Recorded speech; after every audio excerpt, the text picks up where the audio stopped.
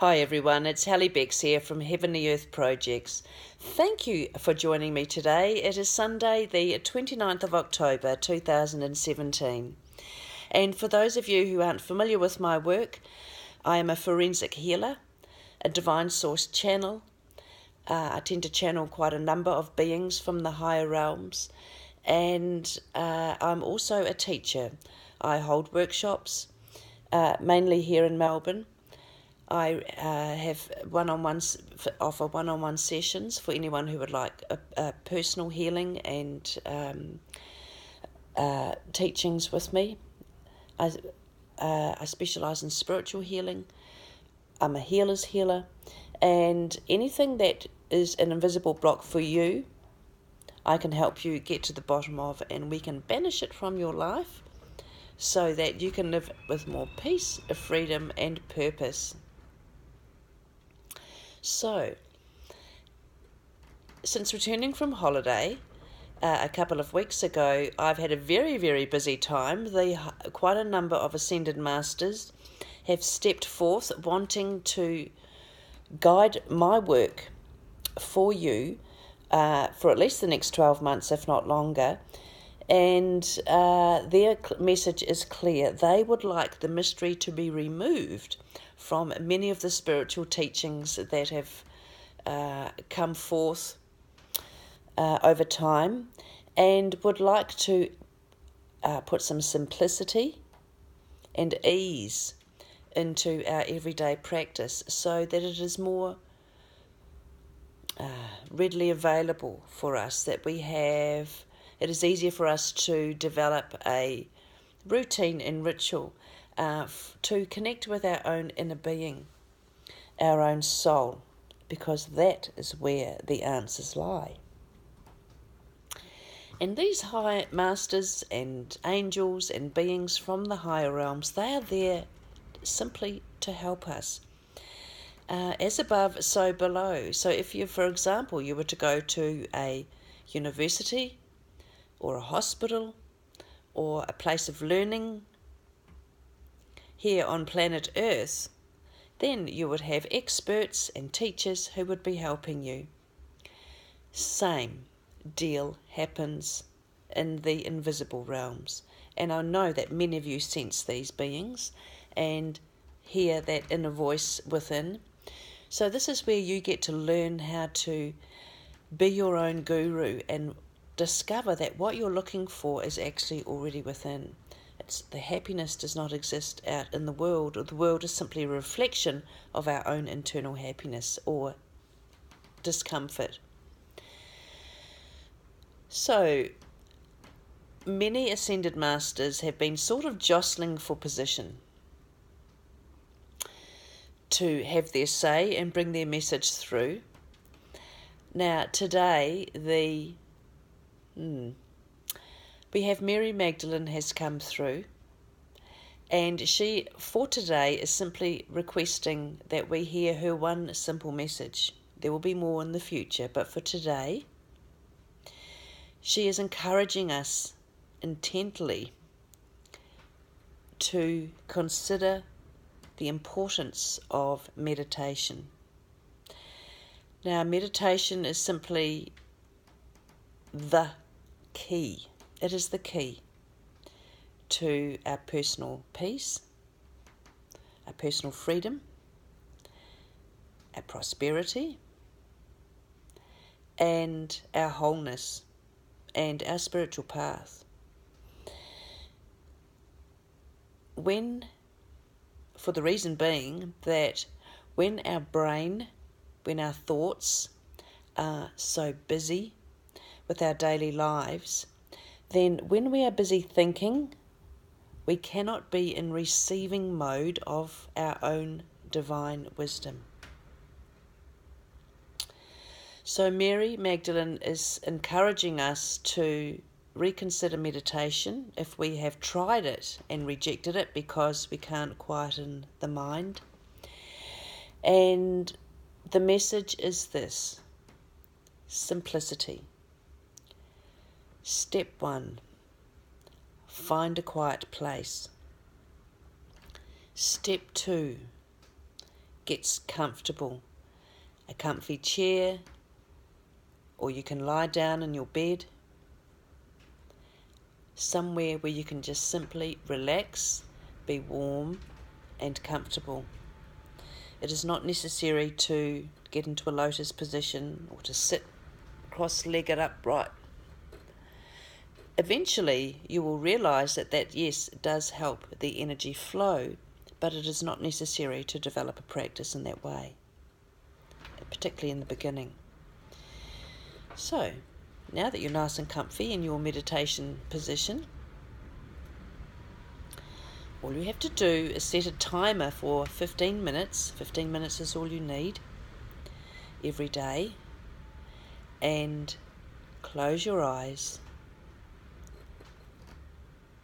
and listen. So, your busy mind is going to be thinking about lots of things. But what you want, need to, want to do is to simply as thoughts come in, don't try and fight them or block them and say, I'm trying to, I want to stop thinking. Just simply let them float by like a passing cloud. What becomes that thought? Right, so I'll just accept I have that thought and let it float on by like a balloon or a cloud. And then you return to the stillness, return to the listening. So you can listen to any noise. You can listen to a guided meditation, even, or a mantra. You can listen to that noise in the air conditioning, just a noise in your room where you are. Listen. So when we turn on our ears, it's almost as if we can turn the brain off, the, the thinking mind off.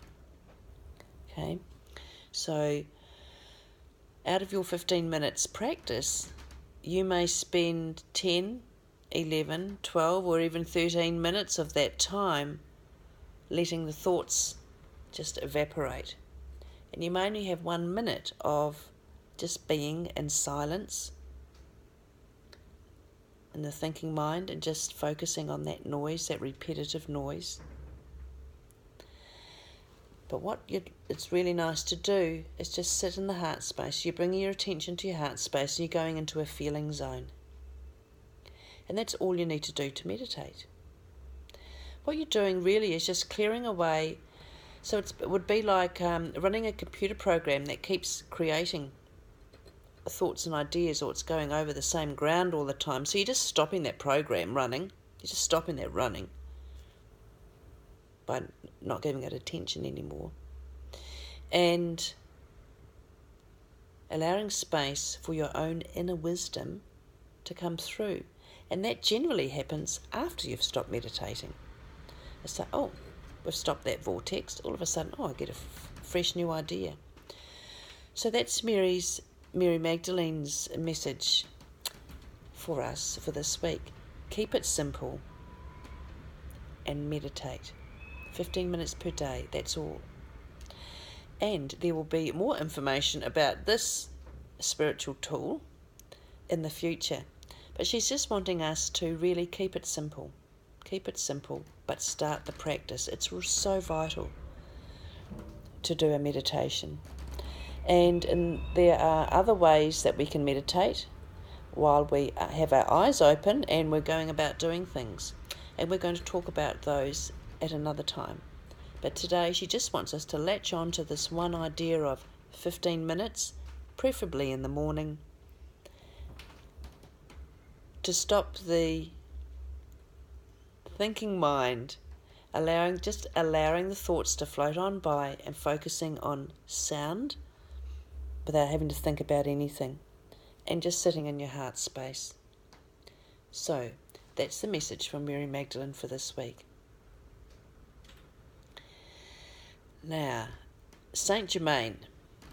Saint Germain is an ascended master who is coming through for us. He is all about alchemy. How can we, as human beings, use spiritual tools to create alchemy, spiritual alchemy of our energy? So, where there is darkness, we create light. Where there is heaviness, we create lightness. Where there is dis-ease, we create health. And his tools and techniques and the spiritual energy that he brings that we can invoke ourselves personally is really needed and uh, uh, for humanity, for all of us at this time. So his energy is all about transformation, transmutation, and magic. And perhaps it's no surprise that Saint Germain has had past incarnations as Joseph, the father of Jesus, as Merlin the magician, as Francis Bacon, and as Christopher Columbus. And finally, as Count uh, Germain, I think his name was, was his last incarnation. And it was after that lifetime he ascended not just to the fifth dimension, hearts, this universal heart spaced living, living from the heart in the fifth dimension, but also beyond that to the sixth dimension. So he has much to teach us he is all about the colours violet, purple, and perhaps almost violet pink. So, in the future, uh, we won't go into that today because you have some meditation to be working on. But he is saying that uh, he is going to teach us in a modern way how to use the violet flame or the violet fire, which has been passed down over time, and to take the mystery of that that out, uh, to take the mystery of it out of it, so that it's readily available to everybody, so we can heal our physical body, we can heal our heartache, and we can live much happier lives. So now I would like to draw a card from Mother Mary, a message going forth uh, from Mother Mary, Mother of Jesus, and her energy is all about universal love. Mother Mary, what is it that you would like to bring forth for everyone today, please? Just shuffling the oracle cards here to see what she would like to bring up for us. Now, this one here, there we go. So it's the card of God. And put the big eyes on so I can read the small print. So this is about surrender. So this is another message that has been coming quite clearly through uh, to me this week. It is what it is. So when we are faced with a, a situation which is difficult or irritating or in discord with our way of thinking, we just need to give it up instead of resisting it. It is what it is. If we can't change it, if it's someone else's opinion, it is what it is. It is what it is let go and let God. So it's just surrender to it. Um, if we have an issue within us, a fear within us, uh, then surrender to it. Let go and hand it over to God. So, for example, if we suddenly get hit with some energy of, say, disillusionment, so one minute you're feeling pretty confident about life and your your role in it and focused on your stuff and you pick up some energy or you've had a conversation with somebody else or you pick up some energy of dis being disillusioned your shine has just become dull. So what do you do about that? Firstly you just notice that oh i've been hit with some energy doesn't feel very good it is what it is. So I'm just now going to surrender to it. I give in. I feel disillusioned. So I now, having acknowledged that, say, so I give in to this disillusionment. It is not me. I just let go of it and hand it over to God for healing with love and light. And just feel the energy shift. So now St. Germain's coming into me and saying he's going to teach us a technique to be able to once we've identified that energy, which is making us feel low, is how to actually transmute it. So instead of handing it to God, we are actually purifying it ourselves using God's will. So we're starting to create a really good teaching here. Surrender. It is what it is. It is what it is. It is what it is. You can't change it. Give in to it. And that's when we stop resisting it and we can actually then cut the cord. It's uh, like it's it is it is like when you have a dog on a lead. If you're trying to get the dog to come in your direction and you're pulling, the dog naturally resists and pulls the other way, right? You'll know that if you've tried it. If you then let go of the resistance and the resistance on the lead, and you go, oh, well, I'll just step a bit closer and then call the dog and encourage it, it will come to you. So when we let go of the resistance, the pulling, then the dog's not pulling against us either. So when we stop pushing or pulling against something, then there is no resistance, so then we can just let it go. So, simple message coming through from your Ascended Masters for us for this week. That is meditate. They say meditate, don't percolate, is the message coming through right now. So instead of percolating on those ideas that aren't working, let go of them. Stop resisting. Throw your hands up and say, Right, I've got no idea what I'm doing in relation to this. I'm going to stop thinking about it. That's it. I give in. I hand it over to God. And then by meditating, you can then clear the brain, the thinking mind, for the wisdom to come through, the answers to come. Simplicity. Key word for this week.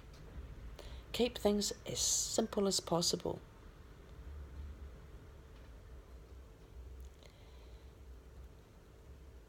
And also, keywords modern spirituality. The modern way to bring the ancient traditions through, to update the terminology so it's more acceptable to our modern ear, and without losing the integrity of what of the teachings, and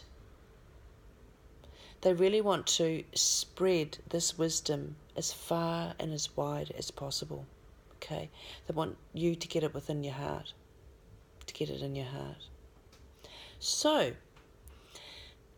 that seems to be the spiritual message for today. Going forward, an update on a few other things. I'm now offering one on one sessions in Northcote in Melbourne at the Northcote Wellness Centre at 9 Langwells Parade. And this location is offering really great flexibility in terms of days and times that I can see you. So, not just restricted to Monday, available all day, every day. We can work something out there. So, I'm hoping that's really going to help you. For one on one sessions, I'll also be planning some more workshops upcoming. So, keep an eye on the Facebook page to receive information about those. If you would look like to join my mailing list uh, to receive emails regarding what's going on, upcoming events, and bits and pieces, then you can either jump on the Facebook page and follow the sign up link there, or send me an email to hallebex at icloud.com and I will pop you on the list. And what else is happening? November. November the 19th, Sunday, the November the 19th, I'm going to be at the Good Vibrations Bulla Bohemian Market up near Tullamarine Airport. in the countryside there. It is a great market. It's really great. So if you're looking for some really interesting crafts uh, and things for Christmas gifts, then come along and check this market out. There's all sorts of good stuff going on there. There's food, they have a drumming circle. Anything that uh, creates a good vibration is going on at that market. From my point of view, I'm going to be bringing along the crystal essence sprays that I make and some crystal pendants. I'll have some lovely gift box uh, collections made up for gifts, but particularly I'm focusing on the three sprays that I make. One is for cleansing, not only your aura, but it will clean your crystals. Uh, one is for peace and calm, to just bring that calm and de stress your vibe. And the third one is for protection. So, for spiritual protection, from energetic protection, and it's also a grounding spray as well. So, these have been uh, created using angelic vibrations, they've been uh, infused with energy from Archangel Metatron they have lovely doTERRA essential oils in them and they're super nice. They're great for children, adults, pets, your space, your office, and uh, if you would like to check these out, come and see me at the Bulla Market or keep watching the Facebook page and I'm going to put a few photos up there and you can just send me an email if you would like to order some. I can post those out to you. So, what else is upcoming that might be of interest to you to enhance your life? Um, I think that's probably about it for now. Not bad for a Sunday. So, I hope you're having a great day and a great week. And uh, as we launch into November, the 11th month, it's a pretty special month and it's a month of new beginnings. So, I trust that you have opportunities for new beginnings in your life and thanks again for listening, and I look forward to speaking with you again soon. Bye for now.